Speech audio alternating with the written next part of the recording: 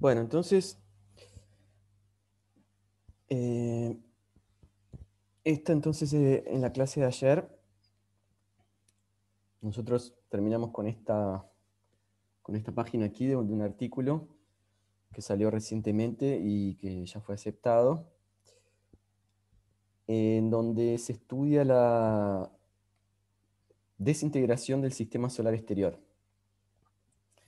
Entonces, ¿qué pasa? Esto está relacionado con los planetas interestelares que vimos en, el final de la clase de ayer, porque la idea es que cuando los planetas del sistema solar exterior se desestabilicen, contribuyan para la población eh, existente de planetas interestelares, o sea, que son aquellos planetas que no tienen, no orbitan una estrella central. Entonces, acá resalté algunos pasajes del, resumen del artículo. Entonces eh, eh, se estudia el, destino de, los planetas gigantes, Júpiter, Saturno, Urano y Neptuno, después de que el Sol abandona la secuencia principal y eh, completa su evolución estelar.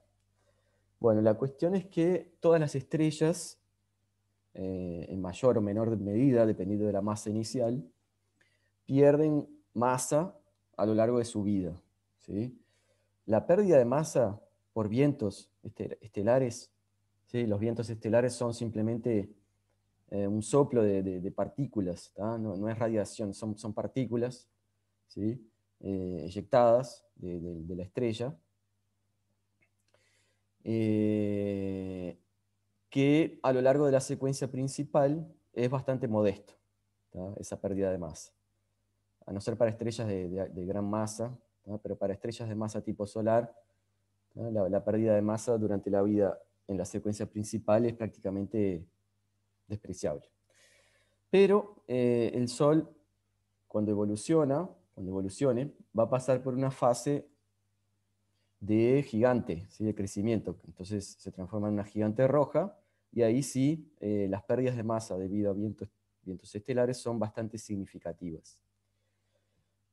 Bueno, entonces, debido a la pérdida de masa, ¿sí? el Sol obviamente va se va a expandir en la fase de gigante roja y se espera que remueva eh, aproximadamente la mitad de su masa. Entonces vean cuánto, cuán importante es este efecto. Para una masa solar se espera que eh, la estrella pierda la mitad de su masa cuando está atravesando esa, fase evolucional, Bueno, eh, un resultado bastante clásico también muestra que eh, la pérdida de masa estelar ocasiona aumento de semieje mayor, o sea, existe un, apunto, un apunto de, principalmente de la órbita de los planetas externos, que es positivo. Eso significa que cualquier planeta que está orbitando una estrella que está perdiendo masa, ¿sí? aumenta su semieje. Entonces vean que esto, esto es como si fuera también eh, una especie de migración. ¿sí? Y fíjense qué importante que es la migración porque eh, puede actuar en fases primordiales de la evolución de un sistema planetario, como cuando vimos ayer la existencia de un disco, interacción con el disco, entonces el planeta migra, pero también ocurre durante fases eh, viejas, digamos, de la evolución del sistema, cuando la estrella ya es, un objeto viejo, porque la estrella crece, pierde masa, la pérdida de masa ocasiona un aumento de semieje mayor de los planetas. Ese aumento de semieje mayor es mayor cuanto mayor sea el eh, semieje del planeta. O sea que los planetas externos son más afectados debido a ese efecto. Son más afectados debido a la, pérdida de masa. Entonces, eh, como los planetas externos se mueven, ¿sí? puede pasar que lo que es una configuración cuasi resonante hoy en día, que es la cuasi resonancia 5-2 entre Júpiter y Saturno, cuasi resonancia 5-2 entre Júpiter y Saturno, que digamos, hoy en día ocasiona algunos disturbios, principalmente en la órbita de objetos pequeños del sistema solar, eh, se espera que esa resonancia realmente eh, tome lugar cuando ocurra la migración de los planetas gigantes, Júpiter y Saturno principalmente, debido al efecto de pérdida de masa del Sol, cuando el Sol se transforme entonces en una, estrella gigante roja. Bueno, eh, lo que va a pasar es que esta expansión de la órbita de los planetas gigantes hace que el sistema se torne más susceptible a perturbaciones de flybys, que son este, encuentros del Sol con otras estrellas próximas. Porque si la órbita de los planetas gigantes se, expande, eh, digamos, de alguna manera las perturbaciones con estrellas vecinas tienden a aumentar, que son pequeñas hoy en día, son casi despreciables, para los planetas por lo menos, pero cuando la órbita de los planetas se expanda, ahí sí se van a tornar un poco más eh, importantes. Bueno, de acuerdo a esto, entre, dentro de los 30 gigaños, eh, lo que va a acontecer es que esos encuentros entre el Sol y estrellas vecinas ¿sí? Va a inyectar al sistema en el dominio caótico de la resonancia 5.2. Y la resonancia 5.2 es bastante importante porque es una resonancia entre los dos planetas más masivos del sistema solar, Júpiter y Saturno. Entonces esto va a ocasionar una estructura, una, inestabilidad en, larga escala, que va a terminar en la eyección de todos menos uno de los planetas en 10 millones de años, después de estos 30. O sea que tenemos que en 40 millones de años, ¿sí? Eh, tres de los planetas gigantes del sistema solar serán eyectados. Bueno, después de 50 gigaños adicionales, los encuentros todavía persistentes con estrellas próximas, ¿sí? acá estamos hablando de encuentros con distancias perihélicas menores a 200 unidades astronómicas, se ven como aumentó ya bastante el semieje de los planetas, eh, Libra, digamos, eh, eyecta el último planeta.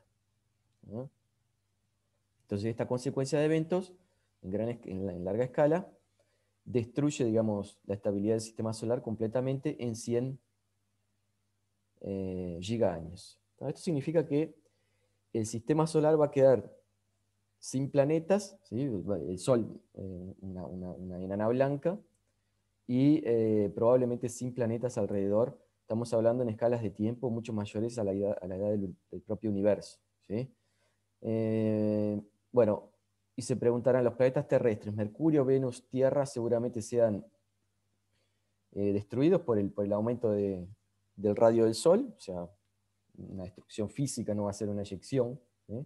Marte tal vez sobreviva ahí marginalmente, si bien este, este, estudio solo considera los planetas gigantes, entonces no se sabe muy bien lo que va a pasar con la órbita de Marte. Tal vez sea el único planeta que sobreviva. Eh, entonces, lo que va a pasar es más o menos esta, esa, esto que está, está, escrito acá. Yo voy a, parar ahora esta presentación y voy a mostrar el propio artículo. Y ahí ustedes después me avisan si lo, si lo están viendo. Está acá el artículo. ¿Lo ven? ¿Ven pasando las páginas? Por favor, me digan. Sí. Bárbaro. Bárbaro. Bueno, entonces la cuestión es la siguiente, un artículo después se lo puedo pasar, es bastante interesante de, leer porque es una lectura simple, no, tiene grandes complicaciones, hacen simulaciones numéricas como nosotros estamos acostumbrados, digamos, no sin, muchos efectos, solamente evolución dinámica. Y bueno, en realidad se, le, pone evolución dinámica y evolución estelar, o sea, el código maneja de alguna manera la pérdida de masa de la estrella, que es algo que no es trivial de, incluir en los códigos de simulación.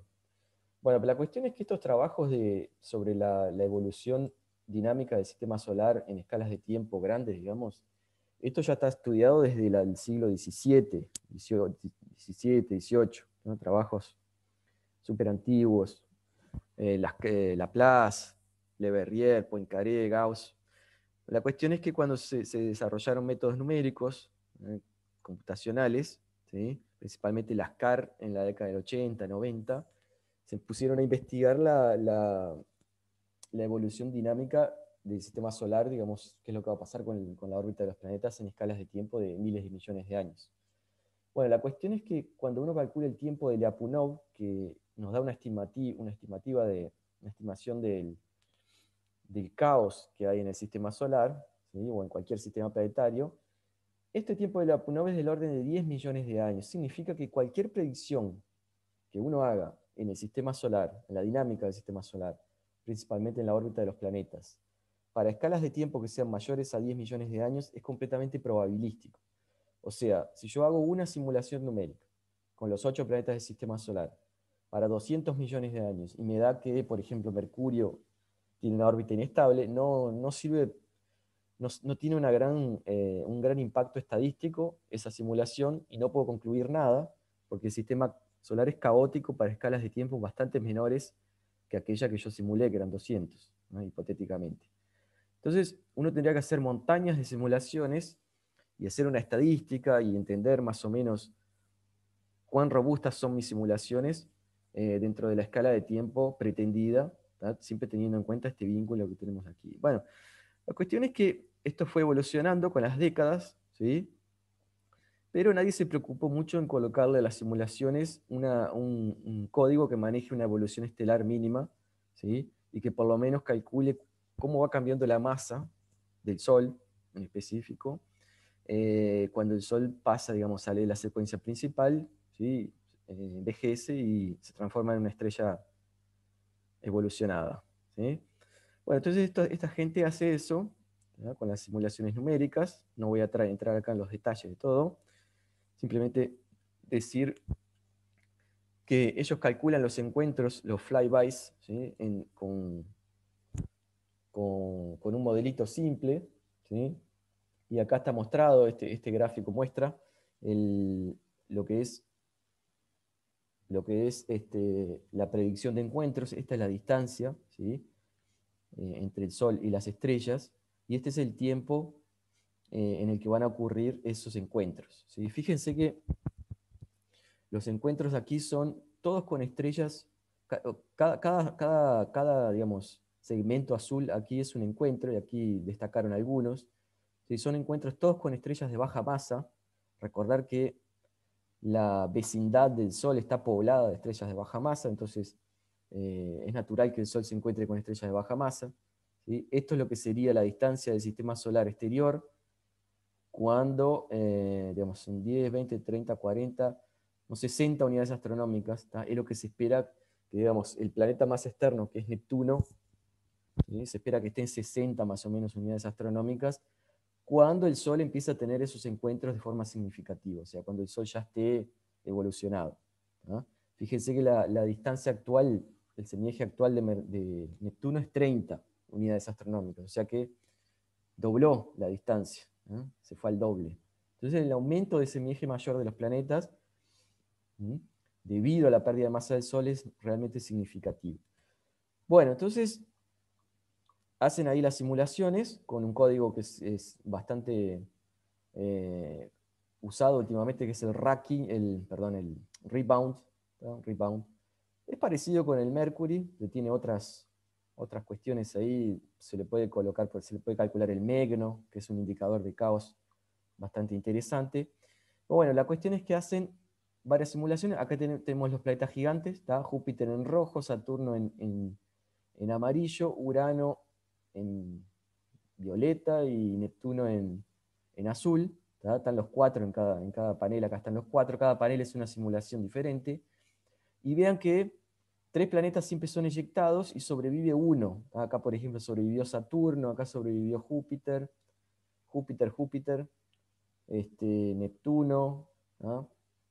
Siempre uno sobrevive al final y ese uno después es eyectado en escalas de tiempo mayor. Entonces, esto que está acá, estas inestabilidades son debido a que el sistema entra en el dominio caótico de la resonancia 5.2, los encuentros con las estrellas se tornan más importantes y, los sistemas se desestabilizan, los tres planetas. Uno sobrevive y después, finalmente, como sobró con una excentricidad grande, fíjense acá, por ejemplo, este es Neptuno. En esta simulación, Neptuno sobrevivió, pero sobrevivió con una excentricidad altísima, 0,5. Esta excentricidad alta, debido a su semieje ya grande también, eh, hace que los encuentros con estrellas vecinas se tornen importantes y después se desestabiliza finalmente. Entonces, a través de este mecanismo se desestabilizan, digamos, son eyectados todos los planetas del sistema solar, los, gigantes. Bueno, y acá, acá, por ejemplo, vemos, fíjense el ángulo crítico, el ángulo crítico de una resonancia es el ángulo, eh, el ángulo resonante, o sea, el, ángulo que libra o que oscila alrededor de algún punto fijo, como habrán visto en las, clases de mecánica celeste. El ángulo crítico de la 5.2 hoy, hoy en día está circulando. Eso significa que el sistema no está capturado en resonancia. Está cerca, pero no está capturado. Durante la pérdida de masa, ¿sí? vemos que el ángulo circula al principio, y al principio, por ejemplo, esto acá es la pérdida de masa. Fíjense como uno acá es la masa del Sol, o sea que el Sol está tranquilo, no está perdiendo mucha masa. Después empieza a perder masa, ¿sí? En azul ya tenemos, perdió 25% de la masa, por acá perdió el 50%. Entonces acá, por ejemplo, el Sol ya perdió la mitad de la masa, en las partes finales. Perdió la mitad de la masa. Y el ángulo crítico empieza a oscilar con una amplitud altísima, pero oscila. ¿sí? Después de la pérdida de masa, oscila bonito acá, con una, frecuencia bien marcada y con una amplitud bien, marcada y constante, ¿sí? y después de las perturbaciones con estrellas vecinas, esa oscilación se torna caótica, o sea que eh, el sistema entró en el dominio caótico de la resonancia, y acá es donde, donde empiezan los problemas para los planetas. Bueno, eh, algo que les quería comentar también es sobre la evolución galáctica. ¿Qué es lo que pasa? Esto, esto es un poco, digamos, la parte débil que me pareció a mí del artículo, porque eh, en escalas de tiempo de decenas de miles de millones de años, estamos hablando, decenas de miles de millones de años, la propia galaxia tiene una evolución dinámica. ¿sí? La propia galaxia tiene una evolución dinámica, o sea, las estrellas, dentro, de, sus, eh, dentro de sus ambientes dinámicos, evolucionan. Inclusive pueden tener encuentros con nubes moleculares gigantes, que son regiones de formación estelar, pueden tener encuentros con, cúmulos, eh, etc. Inclusive, como está escrito aquí, eh, la Vía Láctea, se espera que la Vía Láctea tenga un encuentro, una colisión con Andrómeda, ¿sí? que es la galaxia más, por lo menos la galaxia grande, más próxima que tenemos. ¿sí? Y eso está estipulado que suceda dentro de los próximos miles de millones de años. ¿sí? O sea, antes que ocurran esas inestabilidades que este artículo está tratando.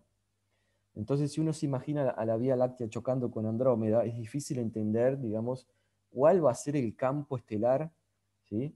Eh, que va a estar cerca del Sol como para que el Sol tenga encuentros significativos y que se produzcan las eyecciones de los planetas externos del sistema solar. Entonces, esto es algo complicado de entender, digamos, eh, obviamente no es el, el, objetivo de este trabajo, ¿no? este artículo, pero lo pusieron ahí como, digamos, para tener cuidado porque es algo que, que hay que tener en cuenta, ¿no? O sea, meterle un estudio de dinámica de galaxias a este trabajo sería bastante interesante. Y para terminar, eh, sobre los free floating planets que hablamos ayer, los planetas interestelares, este párrafo aquí eh, está diciendo que, bueno, eh, los planetas externos del sistema solar serán eventualmente eyectados y van a contribuir para, digamos, la población de free floating planets, para la población de planetas interestelares, los cuatro, Júpiter, Saturno, Urano y Neptuno. Eh, obviamente esto no va a suceder apenas para el sistema solar, otros sistemas planetarios, de los tantos que hay por ahí, eh, tal vez sufran o pasen por el mismo proceso, y esto va a, digamos, a, rellenar todavía más la población eh, de free floating planets, de planetas interestelares.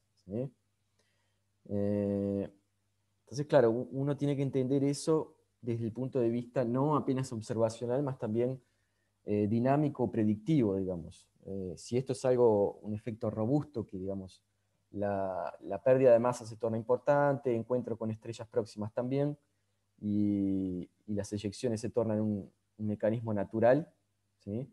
de contribución para la población de planetas interestelares. Esto es algo realmente tal vez bastante interesante para, para ser analizado. Bueno, entonces terminamos con este, este artículo.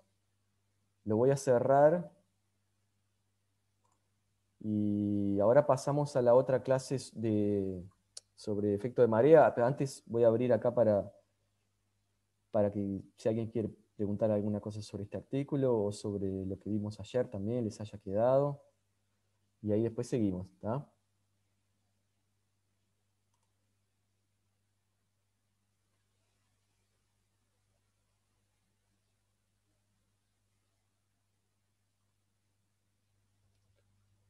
¿Ninguna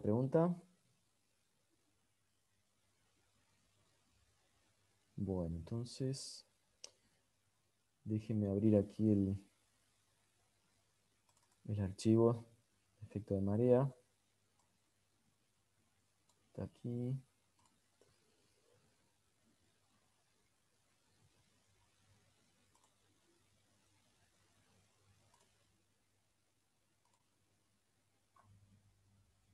¿Me avisan por favor si están viendo este, esta, pantallas, eh, efecto de marea, y pasando las páginas? Te ve, sí. Bárbaro. Bueno. Entonces, eh, efecto de marea. Esto es una foto de la ciudad de Paraty, cerca de Río de Janeiro, más o menos cerca en realidad, que es bastante interesante porque cuando uno va para Paraty observa esto, estas inundaciones, pequeñas inundaciones todos los días en las calles. Es algo absolutamente normal. Y vean que hay un cartel acá, una placa diciendo entrada y salida de la marea, término. Entonces el mar está, está ahí a la, orilla de la ciudad y eh, debido a las, mareas altas y bajas, esto sucede todos los días y un par de veces por día. Entonces, eh, interesante visitar para ti porque uno ve bastante ese, ese fenómeno ahí todos los días. Bueno, pero la cuestión es, es que el efecto de marea, yo no sé si ustedes habrán visto algo, esto no sé si se ve en, las clases de tal vez ciencias planetarias, no estoy muy al tanto tampoco de, las materias que ustedes han cursado, pero eh, cuando se ve el efecto de marea se ve de manera un poco marginal, no se trata mucho la cuestión así de, fondo. Entonces, eh, vamos a tener un, no sé si me va a dar el tiempo para terminar hoy toda la clase, cualquier cosa dejamos un poco para mañana. Entonces, van a ser dos partes, una parte bastante introductoria, la idea es entender el fenómeno físico, los, procesos envueltos ahí en, la, en, en el fenómeno del efecto de marea, y después entrar con la parte más descriptiva de ecuaciones y de aplicaciones para sistemas de exoplanetas. Bueno, entonces la fuerza de marea es un, efecto secundario de la fuerza gravitacional eh, que actúa entre cuerpos masivos no puntuales. Entonces, cuando uno estudia las leyes de Newton y, la ley de gravitación universal, siempre asume que las masas son puntuales, que son objetos que no se deforman, y por lo tanto eh, uno eh, desprecia eh, la parte, digamos, de la deformación. El tema es que idealmente los objetos tienen una extensión, ¿sí? Vamos a pensar acá, este es el objeto que está siendo deformado, y aquí tenemos una masa puntual. Yo no veo que se mueva la diapositiva, perdón, no sé si... Eh, no, se ¿No? ¿No se mueve? Yo veo la primera nomás. Ah, capaz que está como ayer. Déjame ver acá.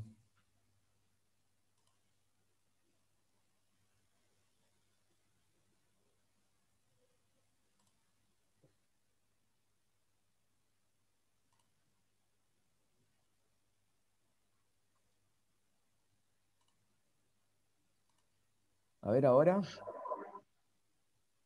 Sí, ahí sí. Bien. Se mueve, ¿no?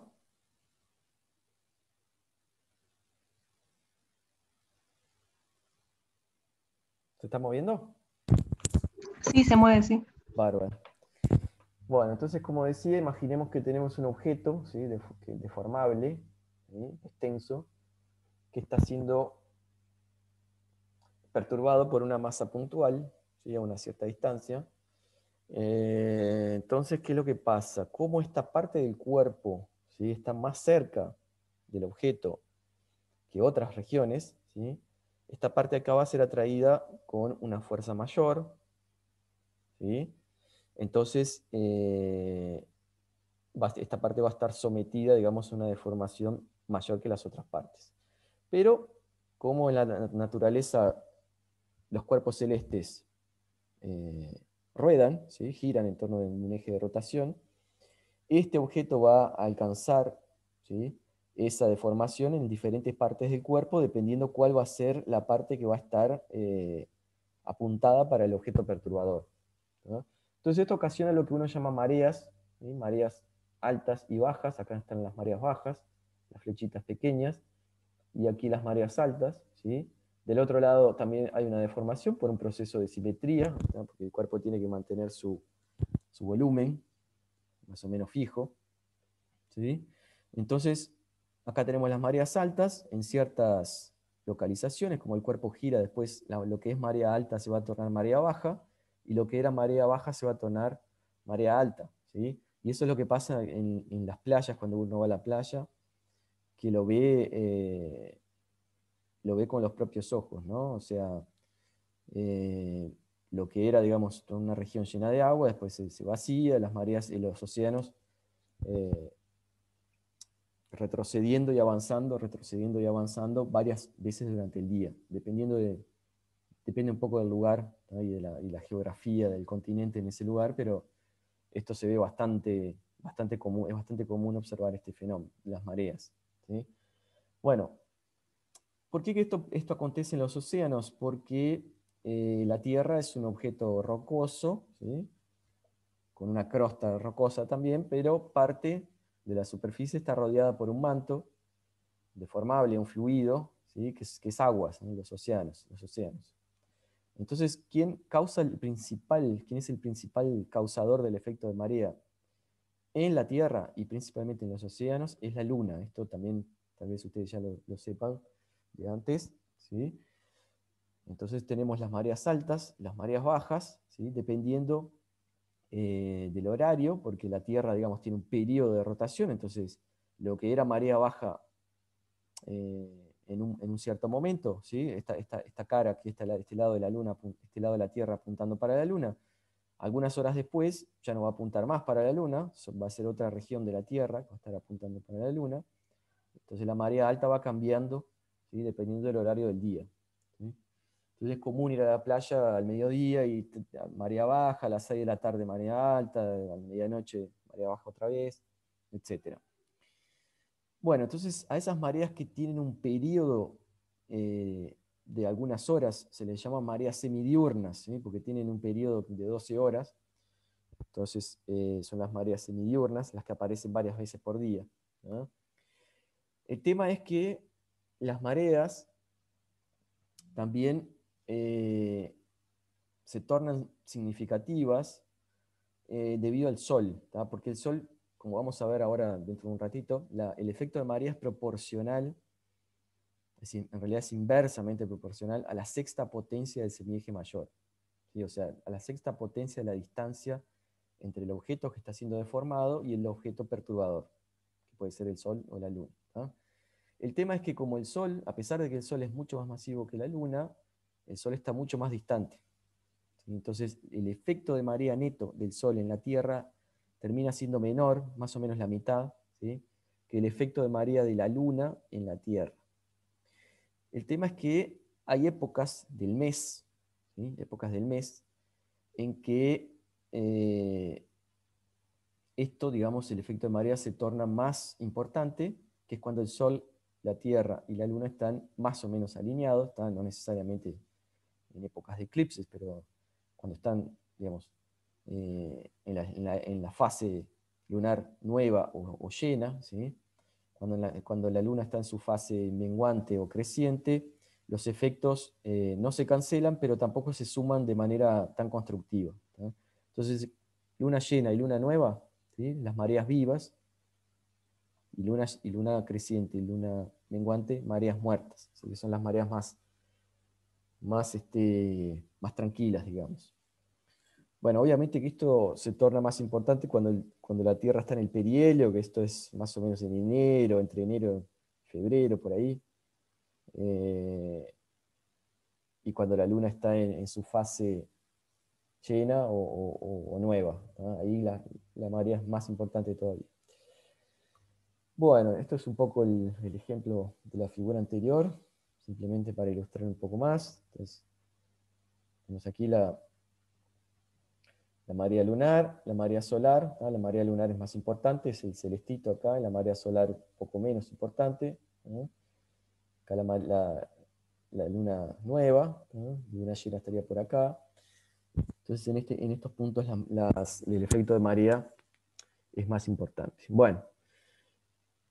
El problema con todo esto es que los objetos que se deforman debido al efecto de marea tienen una, una cierta resistencia a la deformación y esa resistencia está dada por un parámetro fundamental, ¿sí? que es la viscosidad interna. O sea, ¿qué es la viscosidad? La viscosidad, eh, de cierta manera, mide la dificultad o la facilidad que un objeto tiene para deformarse debido a la perturbación de otro objeto. ¿eh? Entonces vamos a pensar, por ejemplo, en el agua y en la miel. Si yo agarro un vaso de agua y lo doy vuelta, ¿sí? Eh, el agua se cae con más dificultad que la miel. O sea, la miel tiene una cierta resistencia a las fuerzas, a la deformación, porque tiene más viscosidad que el agua. Lo mismo con los objetos de, tamaño planetario o satelital. No es lo mismo un satélite de hielo, por ejemplo, que un objeto rocoso o un planeta gigante que es hecho prácticamente de gas. Obviamente ahí va a haber cierta dificultad o facilidad para deformarse dependiendo de la composición interna del objeto. Entonces, la cuestión es que acá estaría, vamos a pensar que esto es la Tierra y esta es la Luna, ¿sí? Entonces, eh, la deformación provocada por la marea, que es este, esta banana acá negra, eh, no está alineada con la Luna o con el, objeto perturbador, con la dirección Tierra-Luna. ¿Por qué? Porque la Tierra gira, mientras intenta deformarse, la Tierra gira y va a haber un ángulo entre la línea Tierra-Luna y la línea de la deformación máxima, o sea, de la, las mareas altas, que está dado por este épsilon acá. Bueno, este épsilon puede ser muy chiquitito, pero todo eso ocasiona grandes cambios, ¿sí? porque va a haber un torque en la rotación, ya se ve acá, o sea, digamos, la, fuerza y la distancia no están alineadas, entonces va, a existir un torque, producto vectorial de, de, la distancia con la fuerza, ese torque se llama torque de marea, como ese torque eh, modifica la rotación del objeto deformado, por conservación del momento angular, va a haber un cambio también en la órbita del, objeto perturbador. Entonces, repitiendo, este torque de marea debido a la viscosidad cambia la rotación del objeto deformado. Por conservación del momento angular tiene que haber un cambio en la órbita, porque el momento angular de un sistema, este sistema por ejemplo que está acá en la figura, está dado por el momento angular orbital, ¿sí? Eh, sumado al momento angular de rotación de los objetos. En este caso, el momento angular de la Tierra. Entonces ahí la, conservación del momento angular garantiza que haya una, un cambio tanto en la rotación cuanto en el semieje del objeto perturbador. Bueno, eh, acá esto, eh, en el caso de que el periodo de rotación del objeto deformado. Sea menor que el periodo orbital, la velocidad, después esto lo vamos a ver más eh, en detalle, la velocidad disminuye, entonces tiene que aumentar, esto es velocidad de rotación, velocidad de rotación disminuye, entonces tiene que aumentar el semieje por conservación del momento angular. En el caso que el periodo de rotación del objeto que se está deformando sea mayor que el periodo orbital del perturbador, aumenta la velocidad de rotación y por lo tanto el semieje tiene que disminuir. Entonces esto lo vamos a ver con algunos ejemplos. Por ejemplo, en el caso de la Tierra y la Luna, tenemos que el periodo de rotación de la Tierra es 24 horas, pensando la Tierra como el, objeto que se está deformando y la Luna como el perturbador, y el periodo orbital de la Luna es 27 días, o sea que tenemos que periodo de rotación de la Tierra menor que el periodo de rotación de la Luna, que es este caso acá.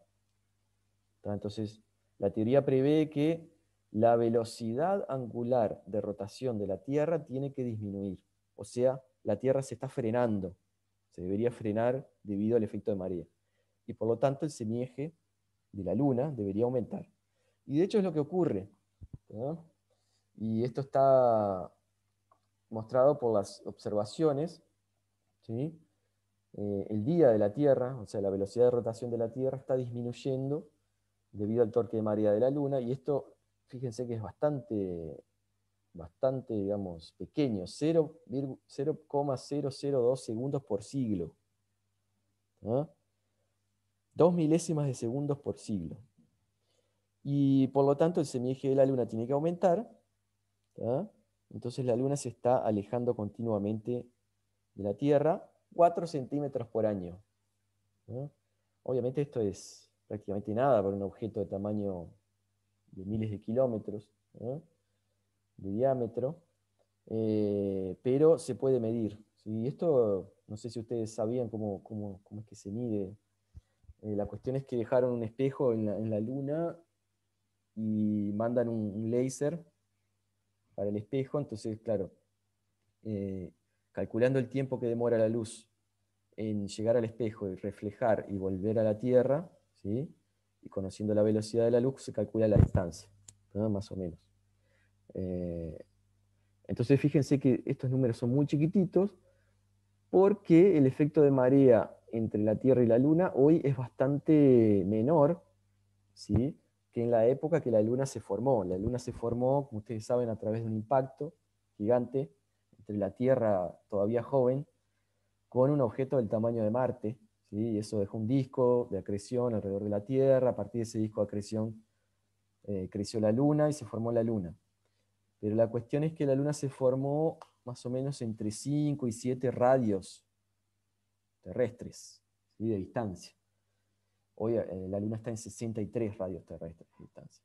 Entonces fíjense cómo ella fue alejándose de la Tierra, siempre debido al efecto de marea. Bueno, el efecto de marea era mucho más violento, obviamente, cuando la Luna estaba más cerca de la Tierra. La velocidad de la Tierra se estima que era entre 9 y 10 horas aproximadamente, o sea, mucho más rápida, giraba mucho más rápido, entonces fue frenando, pero como la luna se ha alejado, entonces el efecto tiende a disminuir. Bueno, una pregunta que, es interesante hacer es si este efecto es, infinito, digamos, si va a durar para siempre y cuándo eh, va a suceder que la Tierra se torne síncrona. La Luna ya es síncrona, o sea, la Luna tiene una velocidad de rotación o un periodo de rotación igual al periodo orbital. Este, este fenómeno aquí, esta igualdad, se, conoce con el nombre de sincronismo. Sincronismo spin-órbita. Periodo de rotación igual al periodo orbital. El tema es que la Tierra, debido a la diferencia de masa entre la Tierra y la Luna, eh, la Tierra evoluciona un poco más lentamente, la rotación que la Luna, un poco no, bastante más lentamente, entonces, eh, a pesar de que el día de la Tierra está aumentando un poquito por siglo, eh, no le va a dar el tiempo, en lo que le, queda de vida a la Tierra, más o menos 5 mil millones de años, no le va a dar el tiempo para tornarse síncrona, o sea, no le, va a dar el tiempo para que la rotación se frene lo suficientemente como para que alcance el sincronismo. Bueno, siendo que la Luna ya alcanzó este estado de sincronismo, esto ya eh, no sabría decir desde cuándo que la Luna es síncrona, pero seguramente ya algunos, algunas centenas de millones o miles de millones de años. Bueno, entonces la Luna, si no tuviera rotación, ¿sí? uno vería ¿ah?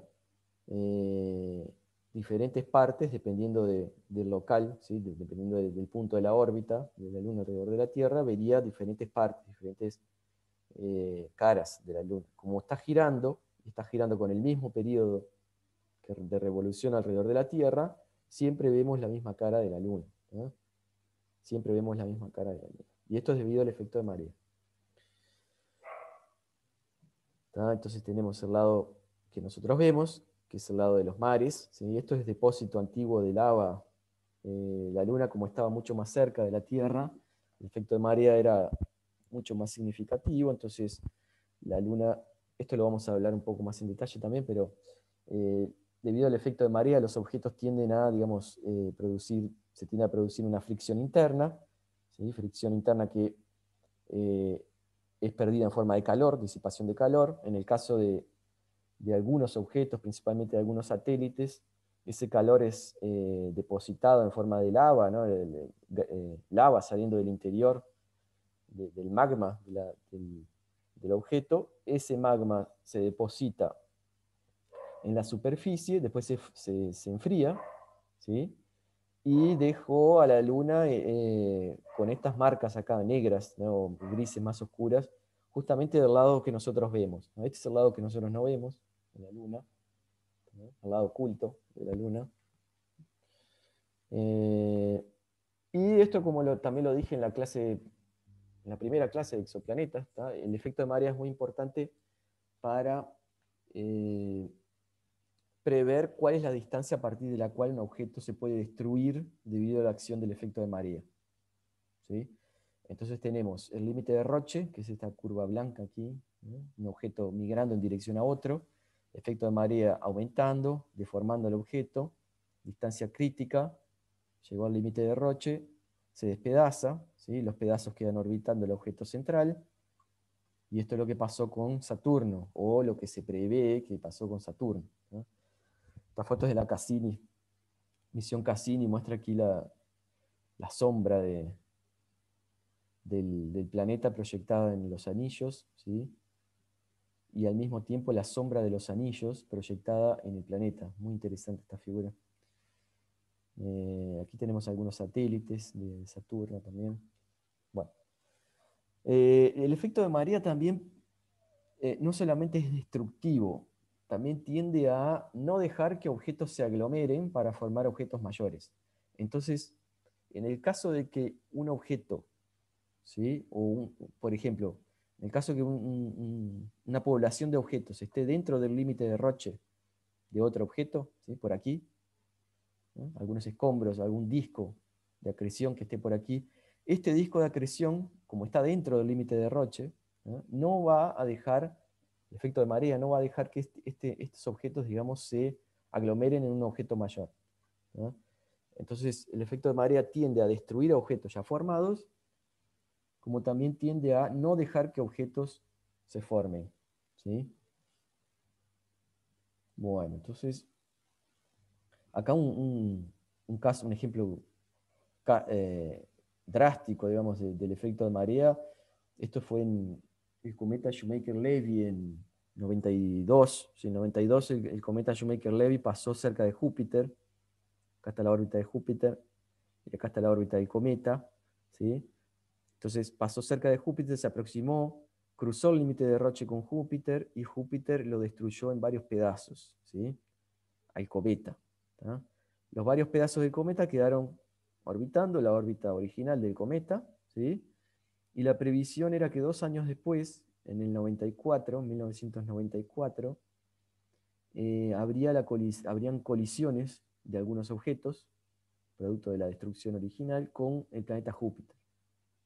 Entonces se crearon varias campañas de observación para, para ver en tiempo real la, destrucción o el, choque, digamos, la colisión de, de, lo que sobró del cometa Shoemaker-Levy con Júpiter. Bueno, acá, acá están los pedazos, fueron catalogados con letras, cada pedazo tiene una letra. Algunos pedazos se subdividieron en otros pedazos, entonces P1, P2, etcétera. Y acá tenemos eh, dos imágenes. Esta es una, cámara infrarrojo y esta es con el, con el, telescopio espacial Hubble. Dos eh, en, ultravioleta. Esto es un satélite de Júpiter. Vemos cómo eh, los pedazos del objeto dejaron ahí sus marcas, las colisiones dejaron marcas en Júpiter, pueden ver acá, acá hay otro satélite, pueden ver aquí. La macana de todo esto fue que la colisión no se pudo observar en tiempo real porque sucedió del otro lado, o sea, su Júpiter estaba del otro, digamos, las colisiones acontecieron del otro lado que no estaba eh, vuelto para la Tierra. Entonces hubo que esperar que Júpiter girara, no mucho porque Júpiter gira bastante rápido, un periodo de rotación de 10 horas, para ver eh, el resultado de las colisiones. Pero las colisiones no se pudieron observar en, en tiempo real. Bueno, en el sistema solar tenemos varios locales donde el efecto de marea es determinante, ¿sí? donde ha causado grandes modificaciones, principalmente en lo que dice respecto a las, a las rotaciones.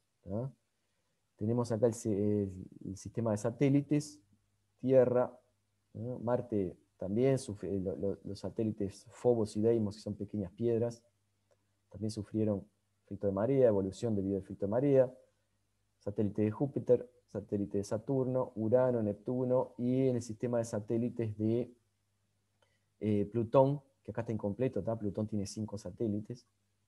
Entonces, en, todos estos sistemas que están mostrados en estas figuras, hay montañas de trabajos hechos sobre eh, efecto de marea. ¿sí? Yo en el doctorado trabajé en algunos trabajé básicamente con exoplanetas, pero también me metí con cosas de, Saturno. Hoy en día también estoy trabajando bastante en este sistema de Saturno con efecto de marea. Bueno, empezando por Mercurio. Mercurio es el, planeta más próximo del Sol, entonces la marea más importante es, debida al Sol. ¿eh? Eh, el periodo de rotación de Saturno es de 58 días. 58.7 días. Y el periodo orbital, 88 días. Si uno divide uno entre el otro, obtiene una relación de 3 para 2. O sea que Mercurio rota tres veces alrededor de sí mismo, al tiempo que completa dos vueltas alrededor del Sol. Eso se conoce como resonancia spin-órbita 3-2. Es el único objeto del sistema solar que está capturado en esa resonancia. 3-2. Eso implica que dos veces el año es tres veces el día, para, el caso de, Mercurio. Después, los, satélites galileanos, eh, los satélites galileanos, tenemos, Júpiter tiene un periodo de nueve horas, casi diez horas, y todos los satélites, Io, Io, Europa, Ganímedes y Calisto, son síncronos. Todos siempre muestran la misma cara para Júpiter, para el planeta. Eh, entonces, esto es, esto es, así como la Luna, que también es síncrona, es una consecuencia directa del efecto de marea. Entonces. Acá hay una imagen con un telescopio más o menos, de Europa, Io, perdón, Júpiter, Io, Europa, Ganímedes y Calisto. Eh, en este sistema está la particularidad de que están capturados en una resonancia laplaciana, 4, 2, 1, 4 de Io, 2 de Europa, 1 de Ganímedes. Calisto no, está, no participa de esa resonancia. Eh, muy bien. Bueno, la cuestión ahora es lo que yo decía un poco antes, ¿sí? que el efecto de marea, como los objetos tienen viscosidad, el efecto de marea produce un una fricción interna, o sea, el objeto intenta deformarse, intenta deformarse, entonces eh, va a provocar, digamos, que diferentes partes del interior eh, sufran un rozamiento con, partes vecinas, ¿sí? Y eso causa una disipación de energía en el interior del cuerpo que se está deformando. Esa disipación de energía, no importa mucho acá lo que son los números, lo que me interesa que vean es que la disipación de energía es proporcional al cuadrado de la excentricidad. Proporcional al cuadrado de la excentricidad. O sea que los objetos que tienen una órbita excéntrica disipan energía debido al efecto de marea. Entonces, eh, como Io, Europa y Ganímedes están capturados en esta resonancia, todos tienen excentricidades no nulas. Son chicas, ¿ah? son chicas, eh, del orden de 10 a la menos 2, más o menos por ahí, pero eh, no son cero. ¿ah? Y eso ocasiona que en el interior de Europa, de Io y de Ganímedes, haya eh, disipación de energía. ¿sí? A ver si tengo acá otra imagen. entonces, ¿qué pasa? Europa, es, este satélite aquí, tiene una camada, una capa ¿sí? congelada de hielo, ¿sí? más, esto más o, más o menos entre 20 y 50 kilómetros, esta, capa, y después tendría un océano subsuperficial de agua líquida, ¿sí? Agua que está siendo calentada, o sea, los hielos se calientan, se, derrite, se derriten en el interior y dejan el agua en estado líquido. Eh, y ese, ese calentamiento es debido al efecto de marea de Júpiter. ¿sí? Entonces esto es una forma bastante eficiente de producir agua líquida eh, en objetos helados, ¿sí? siempre, que claro, siempre que los objetos estén lo suficientemente cerca de un objeto grande, de un planeta o, de algún otro objeto grande, para producir ese derretimiento de los hielos. Entonces Europa se torna un, local eh, interesante desde el punto de vista de la astrobiología porque eh, habría agua líquida abajo, abajo de la superficie. Bueno, Io, ¿sí? Io es el, objeto más próximo de Júpiter, más próximo de Júpiter, entonces tiene un aspecto completamente averiado, por usar una palabra, porque eh, lo que está pasando en Io es que el efecto de marea es tan violento que sufre actividad volcánica. O sea, lava saliendo, de, lava de, azufre saliendo por la superficie, por algunos, eh, algunos orificios, eh, ojo que no son volcanes como los de la Tierra debido a actividad tectónica. Son volcanes debido a la disipación misma de energía por el efecto de marea. Entonces, ¿qué es lo que pasa en Io? La superficie es demasiado joven.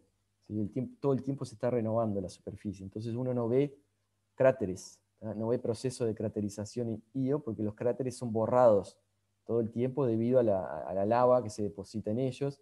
Entonces, el registro no es, no es, no es intemperismo como en la Tierra, digamos que los, los cráteres se van borrando por actividad de la superficie, actividad eh, atmosférica, ¿no? que va de digamos, lluvia, eh, modificación del suelo, que va cambiando las, las formas de, los cráteres en la Tierra. En el caso de Io, lo que sucede, como no tiene atmósfera, es que es todo debido a procesos internos que ocurren cuando eh, ese calor debido al efecto de marea, se traspasa para la superficie. Es el objeto más volcánicamente activo del sistema solar. Fueron observadas eh, estas plumas, que es, eh, es, como si fueran geysers de gas caliente, eh, saliendo de la superficie, tiene de la superficie decenas o centenas de kilómetros. Esto es de la New Horizons, es aquella sonda que fue para, para Plutón, ¿sí? que pasó cerca ahí de, Júpiter y, observó entonces estas plumas de, Io. Fíjense cómo es ¿no? la superficie de este, de este satélite absolutamente inhabitable. Bueno, después en el sistema de Saturno tenemos, más allá de los anillos, tenemos Mimas, Enceladus, Tetis, Ione, Rea, en fin, un, sistema bastante interesante de, eh, desde el punto de vista dinámico y también desde el punto de vista del efecto de marea, porque, por ejemplo, este, este satélite Enceladus, que es este que está acá, y ya adelanto este, que vean esta, esta manchita blanca que se ve por acá, en la órbita de Enceladus. Enceladus es un satélite que hasta el inicios del, siglo XX, del siglo XXI, perdón, no, no, no tenía grandes atributos eh, una, esfera de 500 kilómetros más o menos. El tema es que fueron, fue observada también, fueron observados geysers ¿sí? Eh, activos, y esto es agua saliendo en una región próxima del Polo Sur. Entonces pasa lo mismo que con, con Europa. Tenemos una crosta congelada de, hielo, ¿sí? abajo tenemos un océano global de, agua, ¿eh? océano global de agua, líquida, derretido, o sea, hielo derretido debido al efecto de marea, y ese hielo encuentra algunos canales, ¿sí? Eh, en este caso a través del, polo sur, fue observado, ¿sí? encuentra algunos canales y sale por la superficie, esta agua caliente, ¿sí? sale por la superficie y fue observada. Y fue observada, aquí tenemos una imagen de la sonda Cassini. Esta sonda sí ya fue dedicada exclusivamente a, a la investigación del sistema de satélites de Saturno. Fue, dio muchos resultados, quedó ahí, tuvo varios años, mandó muchísimas imágenes. Y el, análisis espectroscópico reveló la presencia de sales, polvo y carbonatos en las plumas de, agua saliendo de la, de, la de, abajo de la superficie de Encélados. Y bueno, y aquellos que veían como una mancha, acá está este es está aquí. Esto es el rastro dejado por Encélados a lo largo de su órbita. Es esa agua que está saliendo. Y hoy se lo conoce como anillo. Es un anillo. Es el anillo E de Saturno. Es un anillo muy difuso. No tiene nada que ver con los anillos principales. Es un anillo, digamos, exclusivamente debido a la presencia de un satélite, los otros no, los otros son, son fijos, a pesar de que hay satélites que determinan la estructura, las divisiones, estas fallas que hay por acá, pero son anillos que ya son más viejos. Esto es un anillo que es poblado con material constantemente debido al derretimiento de agua, en, perdón, a la salida de agua caliente de, de Encélados. Y está ahí la imagen. Bueno, ahora en el caso de los exoplanetas, hay más cosas en el sistema solar, solo que si eh, no, no, da el tiempo para llegar a la, parte de exoplanetas. En el caso de los exoplanetas, como yo les mostraba en la primera clase, abundan los datos de exoplanetas con periodos orbitales chicos, del orden de pocos días. Periodos orbitales del orden de pocos días. Esto significa que el efecto de marea ocasionado por la estrella central, es absolutamente determinante en la evolución orbital del planeta. O sea, eso garante entonces que el planeta va a estar sometido a el efecto de marea. No existe una distancia crítica, digamos, menos de tanto semieje, digamos, de semieje mayor igual a tanto, o mayor igual, o menor igual. Depende mucho del sistema, depende de cuán grande es la estrella. ¿sí? Depende del tipo del planeta, si, es un planeta rocoso o es un planeta más de tipo mezclado, digamos, roca y, gas. Pero eh, la cuestión es que lo cierto, digamos, es que los, todos los planetas que tienen periodos orbitales del orden de algunos pocos días, van a sufrir evolución orbital debido al efecto de marea. Acá hay una ecuación que la adelanto solo para, la mostré, pero después la voy a mostrar de nuevo inclusive, donde dice que el semieje mayor y la excentricidad eh, disminuyen las derivadas, el A punto y el E punto son negativos, significa que el semieje mayor y la excentricidad disminuyen debido al efecto de marea. Entonces esto provoca decaimiento orbital y circularización. Entonces la idea es que uno encuentre poblaciones de planetas próximos con periodos orbitales de poquísimos días, y acá estamos hablando de aquellos USP, también está periodos orbitales de, o sea, ultra short period, son periodos orbitales menos de un día. El efecto entonces de marea puede ser fundamental para tornar poblaciones calientes de planetas en planetas todavía más calientes y producir órbitas circulares. Bueno, entonces, eh, debido a la migración con el disco, puede ser que el disco, si sobrevive bastante tiempo, empuje a los planetas a una localización próxima para que el planeta empiece a sufrir efecto de marea con la estrella central. Entonces vean cómo hay varios tipos de migraciones. ¿no? Tenemos la migración debido al disco, tenemos la migración debido al efecto de marea, aquella otra migración que hablé más temprano sobre el crecimiento de los semiejes de los planetas gigantes debido a la pérdida de masa del Sol, etc. Y después mañana todavía voy a hablar de otra, otro tipo de migración. Entonces, todos los, los, efectos contribuyen para que los planetas se muevan en sus, sistemas planetarios. En este caso, vamos a pensar en un, en un sistema típico, Sol, una estrella igual al Sol y un hot Júpiter. El periodo de rotación de la estrella, vamos a asumir lo que es igual al Sol, 25 días. Esto depende, porque el Sol tiene rotación diferencial, en el Ecuador gira más rápido que en los polos. Entonces, este, eh, vamos a pensar una velocidad media de 25 días, que es bastante típico, y un periodo orbital de un hot Júpiter, típicamente de 3 días. Como el periodo de rotación es mucho mayor que el periodo orbital, tenemos que el torque tiende a acelerar la rotación de la estrella y a disminuir el semieje del planeta. O sea, Acá pasa lo contrario con el, caso de la Tierra y la Luna. Acá pasa lo contrario. En el caso de Tierra y la Luna, la Tierra se frena y la Luna se aleja. En este caso, de los exoplanetas, la estrella se acelera y el planeta se aproxima de la estrella. Bueno, obviamente que como este estado es algo, acá sí no hay mecanismo de frenado, acá no hay nada porque ya no tenemos disco, no tenemos un mecanismo capaz de frenar esa rotación debido a la marea, puede pasar que eh, los planetas se choquen o sean eh, tragados por la estrella central. Esto, o sea, el choque en realidad no, va a existir porque el planeta atraviesa su límite de rocha y es despedazado, y ahí depende si va a ser un planeta gigante o un planeta tipo supertierra. Se, han encontrado, se ha encontrado exceso de litio 6 en la, en la superficie, o sea, en las atmósferas de algunas estrellas. El litio 6 no, se, no es un elemento que, se, que tenga una vida grande en, las estrellas, entonces no, no, no, se forma en las estrellas. Entonces, probablemente eh, es, un, es, un, indicio de que algunas estrellas tragaron planetas o generaciones de planetas. Bueno, acá tenemos un trabajo que eh, muestra una evidencia empírica eh, de la evolución de mareas, es uno de los tantos y tantos trabajos que hay.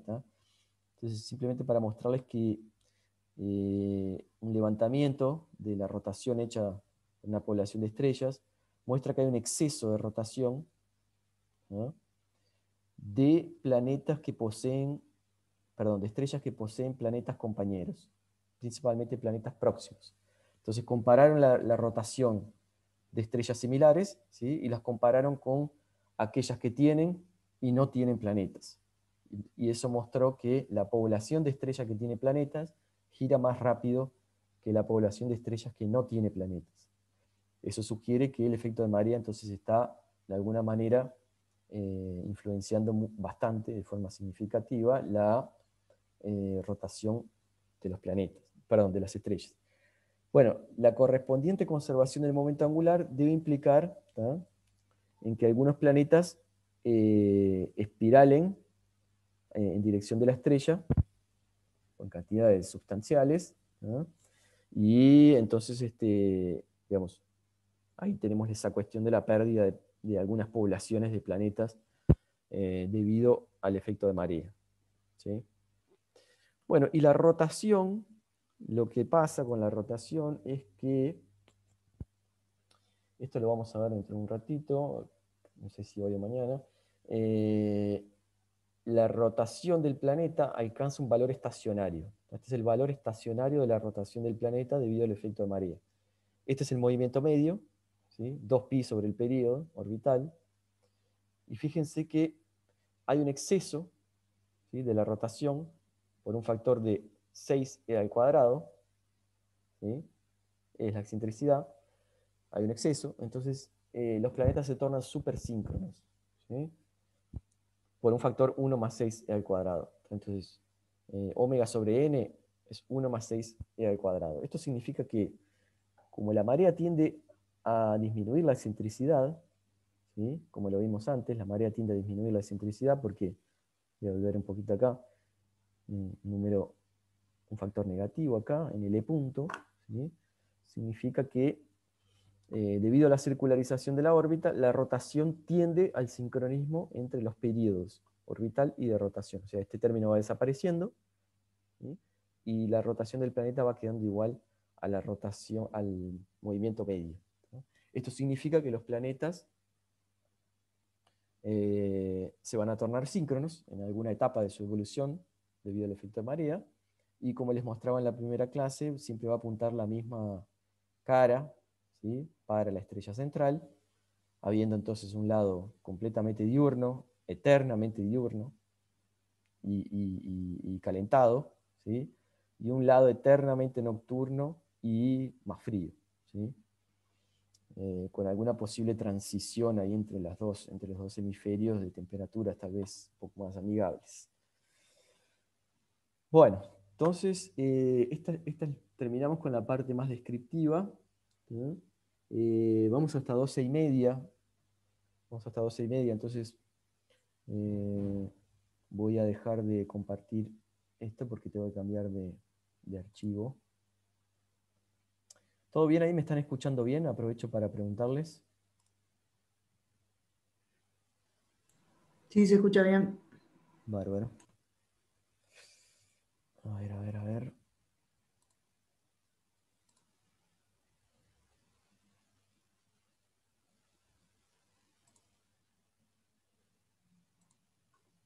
A ver si están viendo ahora otro archivo y pasando las páginas.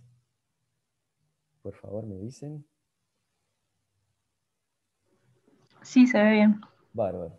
Bueno, entonces la idea ahora es, en parte de esta clase, eh, hablar un poco, entrar un poco más en el tema de las ecuaciones, ¿sí? Eh, que uno tiene que considerar para, para tomar en cuenta la evolución de sistemas, eh, vamos a hablar específicamente de exoplanetas, de exoplanetas debido al efecto de marea. ¿sí? Entonces, Vamos a pensar acá que tenemos el sistemita, la órbita, la órbita, el objeto deformado, el objeto perturbador. Entonces, está absolutamente exagerado, simplemente para, ejemplificar. Entonces, ¿qué pasa? Nosotros tenemos, ustedes saben que eh, el gradiente de un potencial nos da la fuerza, debido a la deformación. Esto, esto es absolutamente, absolutamente general. El U2 es el potencial de marea. Se le pone el 2 porque es hasta segundo orden en la deformación, pero bueno, eso no, viene mucho al caso ahora. Entonces tenemos que la fuerza la podemos dividir en tres componentes. Componente radial, componente normal y componente tangencial. ¿sí? Y en mecánica celeste habrán visto que uno puede usar las ecuaciones de Gauss, ¿sí? que nos dan la derivada media de los elementos orbitales. En particular voy a hablar del semieje de excentricidad, debido a cualquier tipo de fuerza. Esto puede ser fuerza de gravedad, puede ser fuerza relatividad, puede ser lo que, lo que le quiera meter aquí. Es una fuerza genérica. En particular nosotros vamos a hablar de la fuerza de marea. Y bueno, ahí uno obtiene las tasas medias de variación de semieje de excentricidad debido a la fuerza de marea. Bueno, cuando uno no, puse acá todas las expresiones para él, son, son grandísimas. Eh, al final están los artículos donde yo me voy a, basar. Eh, y ahí ustedes lo pueden, pueden dar una bichada. Son ecuaciones horribles. Estas porque vienen de expansiones. Entonces, en fin. Eh, no las puse aquí, simplemente puse el resultado final para el A punto y el E punto. Estas son aquellas ecuaciones que mostré hace un ratito a punto negativo, el punto negativo. Bueno, acá entran algunos parámetros. Está, el movimiento medio, el, semieje mayor, la excentricidad, y tenemos estos, estos, factores aquí, S, gorro y P gorro. S gorro y P gorro. Están acá. Fíjense que ese gorro y P gorro dependen de eh, la masa del planeta, la masa de la estrella, el radio de la estrella, el radio del planeta y unos factores llamados eh, Q. Eh, tenemos el Q estrella y el Q planeta. 1 eh, sobre Q nos da la disipación. Es una medida de cuán eficiente es el planeta para deformarse, ¿sí? y obviamente cuanto mayor sea esa deformación, mayor va a ser la energía disipada en el proceso de deformación. Entonces, por ejemplo, planetas, imagínense idealmente un planeta absolutamente duro, Cuando digo duro es que no responde en nada a la deformación, no se deforma nada, entonces ahí el efecto de marea es cero, o sea, un Q es infinito, entonces 1 sobre Q es cero. Y el otro caso extremo, planeta absolutamente maleable, deformable, donde va a perder bastante energía en el proceso de, formación, y ahí sí, el 1 sobre, sobre Q se torna bastante grande.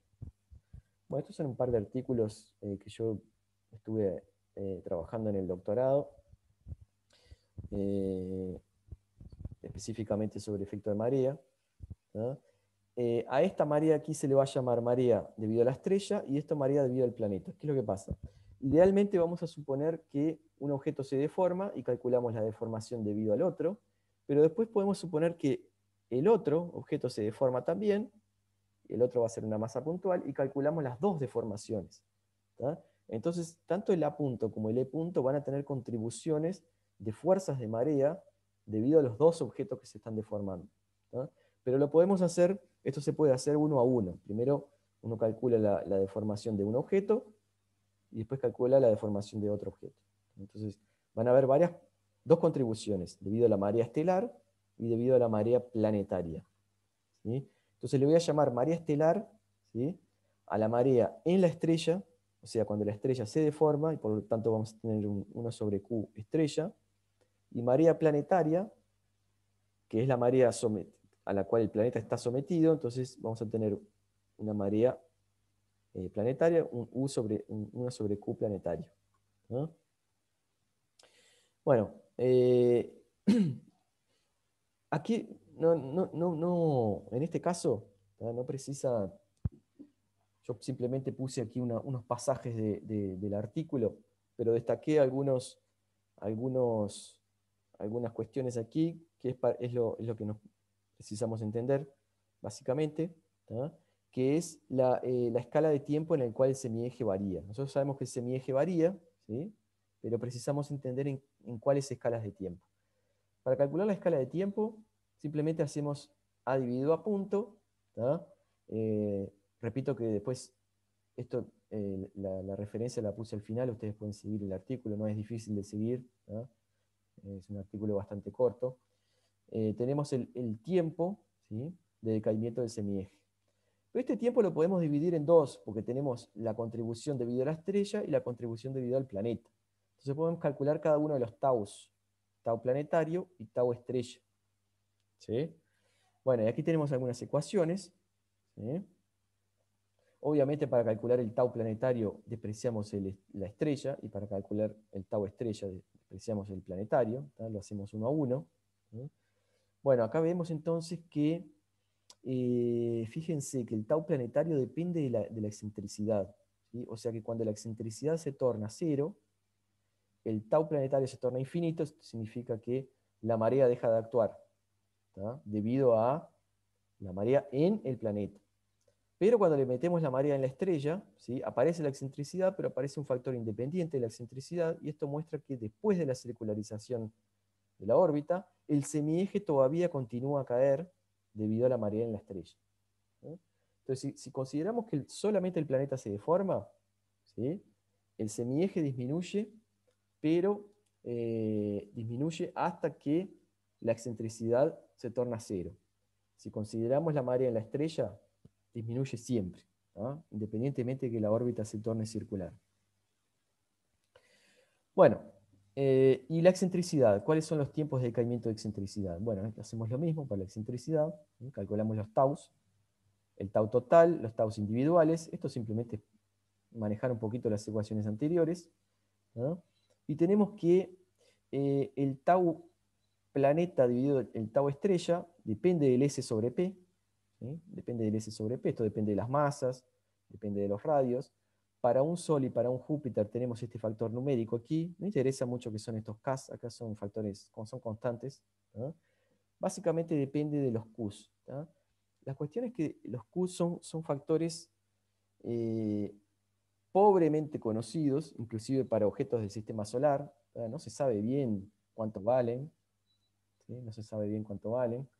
Eh, pero tenemos rangos, más o menos rangos de confianza entre, entre algunos Qs, y esto nos daría que la marea sea que el, Q sobre estrella sobre el Q planeta es mayor o igual a 1, entonces la marea planetaria es mucho mayor que 1, esto significa que el tau P es mucho menor que el tau estrella, entonces la, evolución es completamente gobernada por la marea en el planeta. O sea que la excentricidad es gobernada por la marea en el planeta, mientras que el semieje es gobernado por la marea en la estrella. Bueno, entonces esto nos permite, ya vamos terminando, nos permite mostrar eh, cuál es el valor crítico ¿sí? para el decaimiento orbital, porque yo puedo comparar el tau planeta, ¿sí? dividido el tau estrella, eh, recordando que los tau son escalas de tiempo, de disminución del semieje, y aquí divido uno entre el otro, es simplemente usar las ecuaciones anteriores, esto queda una función del, S sobre P y de la excentricidad, entonces calculamos la excentricidad crítica, que es igualando esto a 1. Entonces, igualamos esto a 1 y obtenemos la excentricidad crítica. Si la excentricidad es mayor que la excentricidad crítica, entonces el tau P es menor que el tau estrella. Entonces la marea planetaria domina. Por el contrario, si la excentricidad es menor que la excentricidad crítica, el tau planetario es mayor que el tau estrella, entonces la, contribución de la estrella se torna más importante para producir el decaimiento orbital. Podemos poner eso en un gráfico excentricidad crítica en función del P sobre S, y vemos que cuando P sobre S es muy grande, o sea, cuando la marea planetaria es más importante, eh, es bastante fácil que la excentricidad sea mayor que la excentricidad crítica, porque la excentricidad crítica es chiquita. Ahora, cuando el P sobre S es grande, perdón, cuando el P sobre S es chico, o sea, cuando la, la marea estelar domina, tenemos que tener excentricidades grandes, excentricidades muy grandes para poder superar la excentricidad crítica y entonces hacer que, eh, que la marea estrella se torne la dominante. ¿Sí? Eso está escrito por acá. Eh, bueno, entonces eh, acá vienen los Hot Júpiters y Hot, Neptunos. Esto lo voy a dejar para mañana porque ya estamos en, el horario ahí, 12 y media, casi.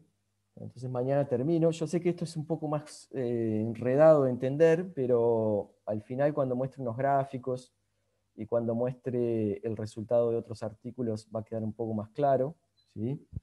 entonces una primera lectura como que torna un poquito eh, engorroso esto. Yo, eh, son en definitiva terminan siendo ecuaciones bastante simples. Eh, entonces una, rápida lectura así medio por arriba ya del artículo, ¿no? que lo, puse al final. Entonces mañana lo muestro bien nos va a permitir entender un poquito mejor. Entonces mañana vemos qué tipos de planeta evolucionan más rápido debido al efecto de marea, si son los Júpiteres, los Neptunos o las supertierras. Eso nos va a permitir entender cuáles son las poblaciones de planetas más susceptibles al efecto de marea y que por lo tanto pueden ser explicadas eh, las observaciones debido al efecto de marea. Y eh, después la vamos a complicar un poquito más y le vamos a poner dos planetas al sistema, siendo que uno de ellos va a estar sometido al efecto de marea y el otro no. Y a partir de ahí se torna bastante interesante la evolución, con algunos efectos importantes. Eh, que es, en fin, eso lo vemos mañana. Bueno, paro acá de compartir. Y agradezco nuevamente por la, por la presencia a todos y a todas y eh, estoy abierto ahí para algunas preguntas que quieran preguntar, todo lo que quieran y bueno, mañana seguimos.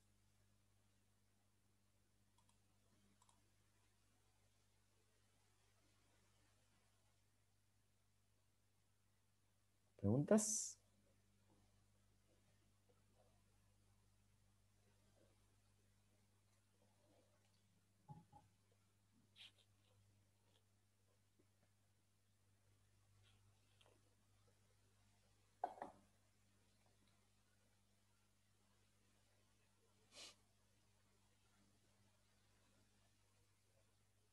¿Nada? ¿Se entendió? ¿Alguna cosa que no hayan entendido? ¿Algo que haya sido medio engorroso o difícil de entender? ¿Lo puedo mostrar de vuelta? No, yo todo bien, ninguna duda. Bueno.